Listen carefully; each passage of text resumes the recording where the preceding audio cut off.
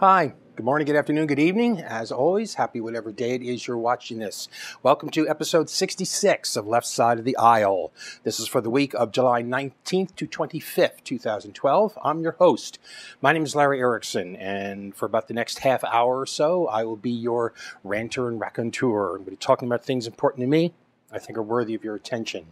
As always, any comments, questions, reactions, uh, suggestions, tidbits, um, tips, whatever, uh, can, in fact, they should be uh, sent directly to me. My email address is whoviating, W H O V I A T I N G, at AOL.com.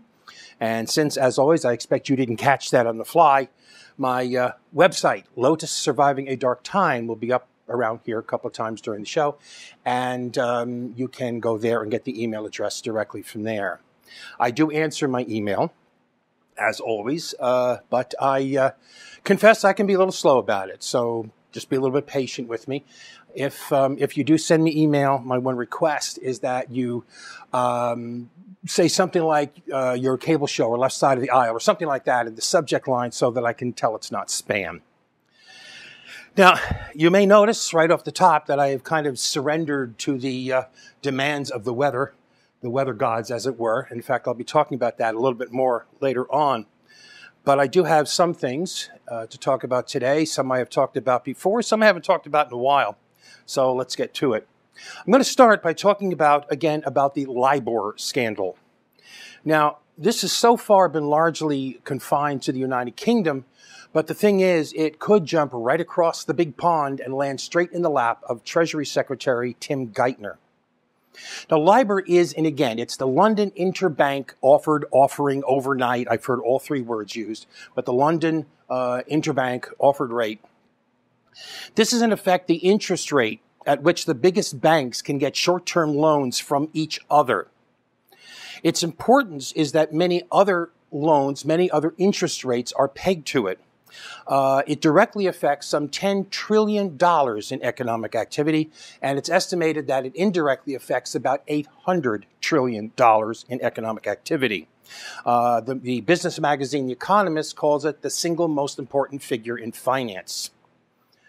And there is clear evidence that those banks, those banks that see again the way it works is that these banks kick in these numbers of these rates and then um, they are averaged to get a daily rate there is evidence that those banks have been actively manipulating those rates for their own benefit. Uh, one of these banks, Barclays, has already reached a settlement of something over $500 million uh, with regulators, and several other major banks, both here and abroad, are being investigated in several different countries. All right, here's the thing now. Between 2003 and the time he joined the Obama administration in 2009, Tim Geithner was director of the New York Federal Reserve Bank, or as it's commonly called, just the New York Fed. The New York Fed is regarded as the most powerful of the regional banks that make up the Federal Reserve System. And there have been in recent times increasing questions over what the Fed did or didn't know, did or didn't do about LIBOR. Now, under pressure, the New York Fed released a series of documents late last week uh, related to these questions. And these documents show that more than four years ago, in fact, in December 2007, uh, at a time when Tim Geithner was in charge at the New York Fed, a representative of Barclays Bank told the New York Fed that LIBOR rates were unrealistically low.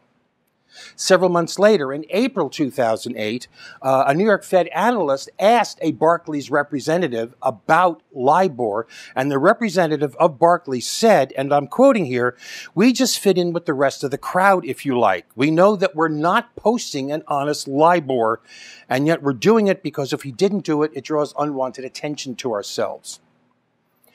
Okay, and what was the response of the New York Fed to this uh, this confession of manipulation and this to, this assertion that all the other banks were also manipulating the figure? It was sympathy and understanding. You have to accept it, the, the representative said in response. I understand. It may not be what you want to do, but you know, I understand completely. In other words, it was like, hey, you know, you got to do what you got to do for your own short term benefit, and the rest of the world is just going to have to suck it up and deal with it.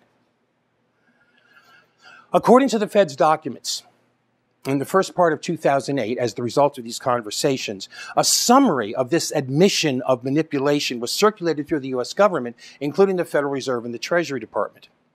As a result, on June 1st, 2008, Geithner sent a memo to the governor of the Bank of England. His name is Mervyn King. Um, he suggested um, some reforms of the, of the LIBOR figure.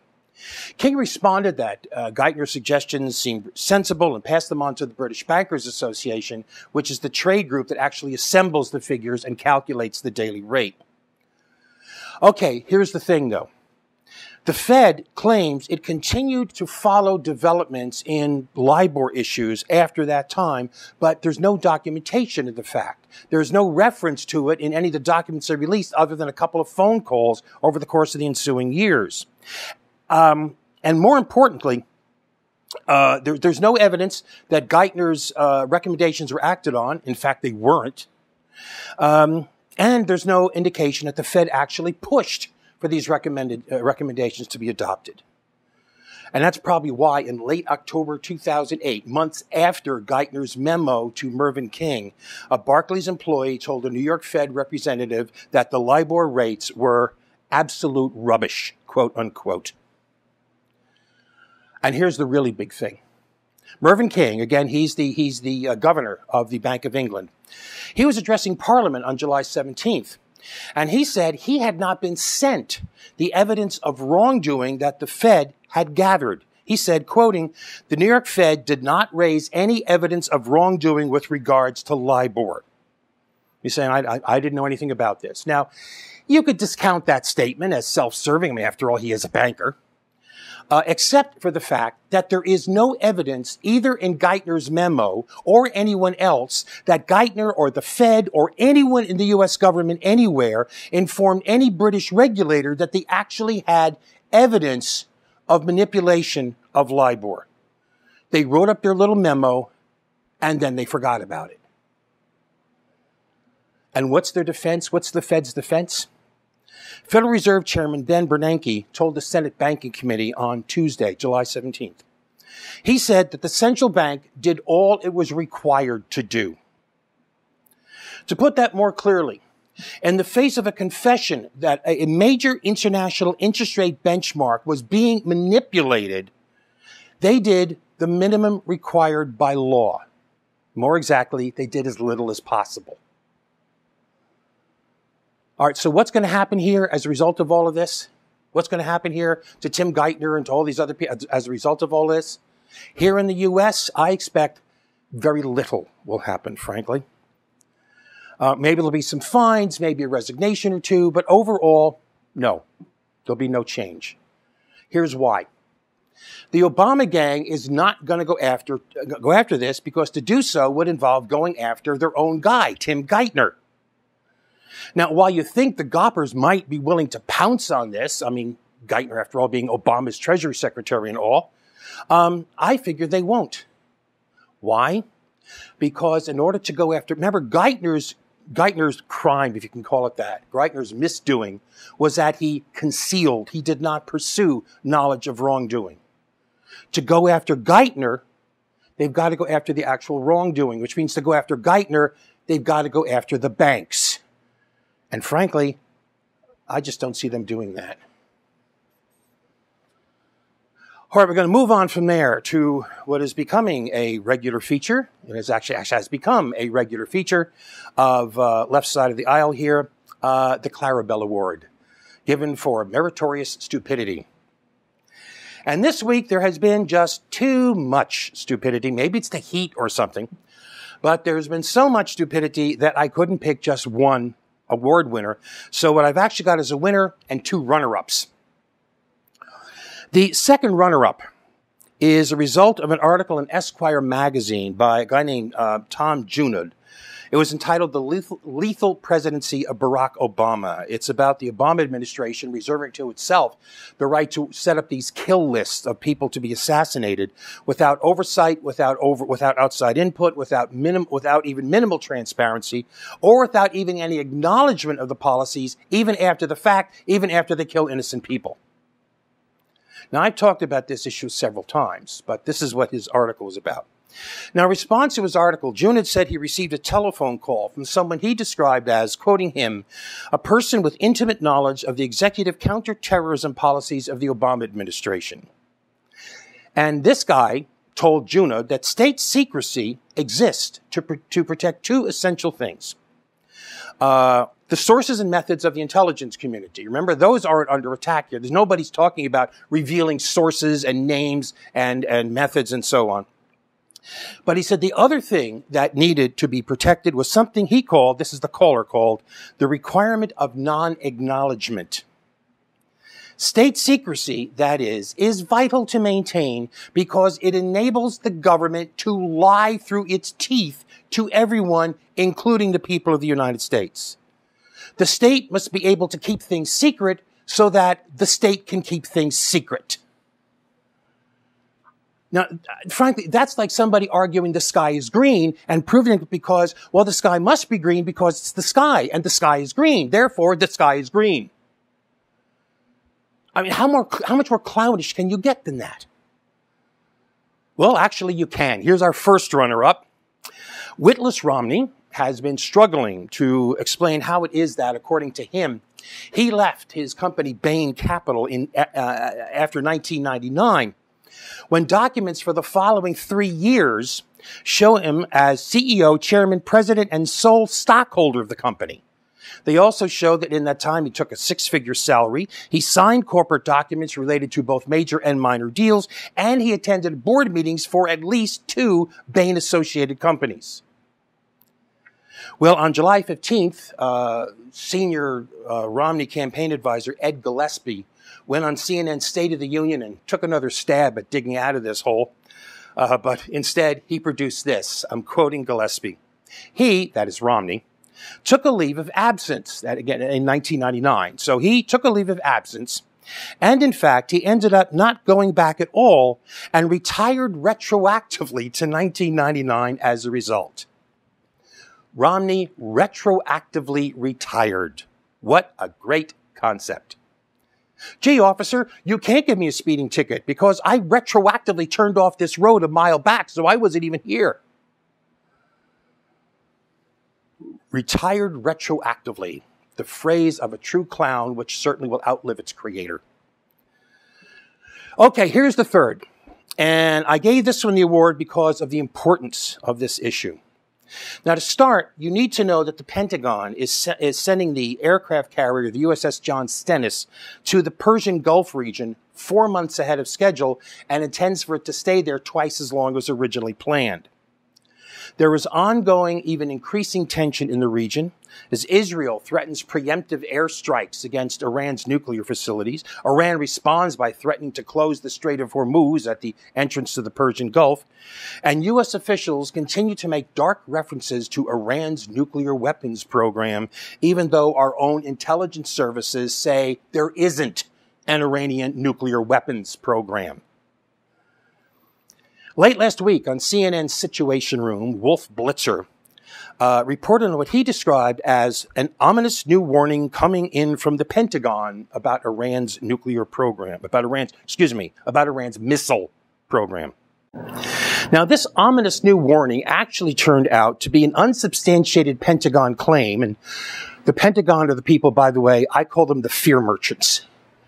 But this was actually, this ominous new warning was actually an unsubstantiated claim from three years ago.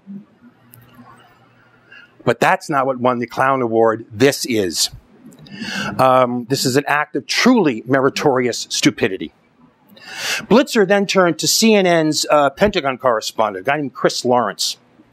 Now, Lawrence dutifully parroted the Pentagon claims about how Iranian missiles are becoming more accurate and more deadly, and then he said this. This is a quote. Iran already has a missile that could reach the U.S. if it could put it on a ship and move it within 600 miles of the American coastline. What kind of argument is that? I have a rock I could throw all the way to Iran if I could get within 100 feet of its border. I mean, how incredibly clownish is that kind of argument? This is especially considering that back in November, Um, Iranian leaders were boasting about the power of their navy, and the Pentagon mocked the idea that the Iranian navy could get anywhere near the United States. And at that time, CNN trotted out its own experts, ridiculing the very notion that now they are presenting as so threatening. CNN, not only clowns, but clowns in service to the bigger clowns who want to push us into another insane war. And we are going to take a break.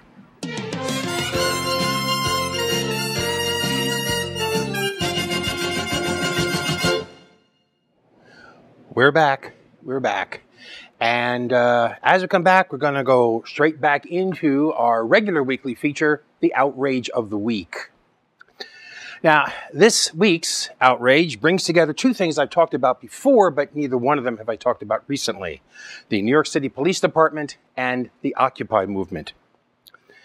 Now, the NYPD and the city government of New York are really full of themselves with regard to their supposed expertise and genius with regard to terrorism. As evidence of the city's supposed excellence, the, uh, the police department there, its allies, and, and the media have repeatedly said that the department has thwarted or helped to thwart 14 terrorist plots aimed at New York since 9 11. That figure has been recited repeatedly in the media uh, by New York State congresspeople and, in fact, by the police commissar, um, police commissioner himself. It's crap. The number's nonsense. Of the 14 supposed plots as published by the NYPD, of the 14 supposed plots, only three of them actually involved actual developed terrorist plots involving New York City. One of them, in fact, the 2010 Times Square bombing, they didn't stop. The, the bomb didn't go off. They didn't stop it. It failed. Uh, the other two, one of them was uncovered by U.S. intelligence agencies, agents, and the other by British intelligence. In fact, in that one, the plan was to blow up airliners over the Atlantic. And the only connection to New York was that one of the people who was arrested had flight information about various flights in and out of various airports, including in New York City. And of the 11 other cases, three of them and uh, were ones in which government agents played the lead or the exclusive role. In fact, in some cases, to the point of actually creating the plot in order to ensnare people in it. Four of them were ones whose credibility or seriousness had been questioned by law enforcement officials to the point where, in some of the cases, the feds wouldn't even press charges. And the other four involved cases in which a plot never got beyond the discussion stage. In fact, in one of them, an idea to, to take down the Brooklyn Bridge, this plot was abandoned before the cops even knew about it. This list is completely bogus, but this is the list that the police department is thumping its chest about. Now that definitely would actually be Clarabell territory, but this actually, in this case, it just forms the backdrop. Now, I've gone after the New York PD uh, times before. One, uh, I've gone after it about its racist stop and frisk policy. Uh, I've gone after about its intrusions into privacy, its violation of the First Amendment, and its illegal harassment and arrest of Occupy protesters. But now, New York cops have gone completely over the top and around the bend in their attempts to smear and discredit any dissenters from the policies of the Wall Street barons who are the ones who actually run their city. On March 26th, Occupy staged a protest about fare hikes and cuts in service in the New York City mass transit system. They did this by chaining open the gates at 20 subway stations across New York. The idea was that anybody could walk in and use the subway for free. Well, just over a week ago, on uh, July 10th, the NYPD announced that a DNA sample taken from a chain at one of those sites matched a sample found at the scene of the unsolved brutal murder of a Juilliard student named Sarah Fox in 2004. And that you have to understand is how the police presented it. They presented it as the unsolved murder of Sarah Fox has been linked to Occupy via DNA. And that, of course, is how the media presented it. The New York Observer, the Gothamist, the Daily Mail, the Associated Press, the Village Voice, the Philadelphia Inquirer, the Wall Street Journal, CBS New York, NBC New York, Gawker, every single one of them featured a headline of exactly the sort the cops wanted. Every one of them had a headline along the lines of DNA evidence, DNA evidence links murder to Occupy. Every single one of them. And not one of them mentioned until several paragraphs into the story that the cops have no idea whose DNA was on that chain. And in fact, it could have come from anyone who touched that chain, which means it could have been a subway rider who had no connection whatsoever to the protest. And not one of these articles even mentioned the possibility of error in the DNA analysis, except to deny it. And not one of them even mentioned the possibility of a contaminated sample at all. This is despite the fact that a year before, a report from the New York Civil Liberties Union had been able to point to independent research that showed, quoting that research, an unexpectedly high incidence of error and fraud in the collection, handling, and analysis of DNA evidence, mislabeling of samples, cross-contamination of samples, misinterpretation of results, misrepresentation. And that research showed these problems to exist in labs across the country, including the one in New York. Now, nearly 24 hours later, after those screaming headlines, investigators are reporting that, quoting, Contamination at a city laboratory could have led to the match between DNA found at the murder scene of a Juilliard student eight years ago and a chain used at a recent Occupy Wall Street protest.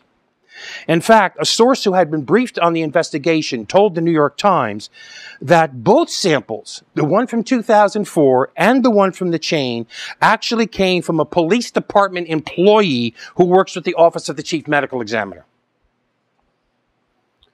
So there was no reason to connect any Occupy protester to the murder. There is even less than no reason, if there can be such a thing, to occupy the movement as a whole to it. Yet, bluntly, that's exactly what the cops did. Consciously, deliberately. And that is exactly what the media went along with and amplified, either consciously and deliberately, or as the worst of incompetent, lazy, butt-kissing buffoons. Now, some people will see those updates. Some people will look at them and go, oh, I see. But how many thousands will not? How many thousands will only recall the headlines and, thanks to the lies of the cops and the complicity of the media, how many thousands of people are now going to come away with the notion in their back of the heads that Occupy is harboring murderers? That is an outrage. It is the outrage of the week. Okay.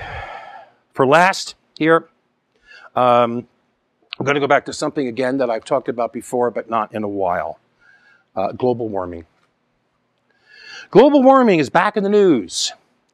The U.S. today is seeing wildfires, freak storms, uh, thousands of temperature records being broken.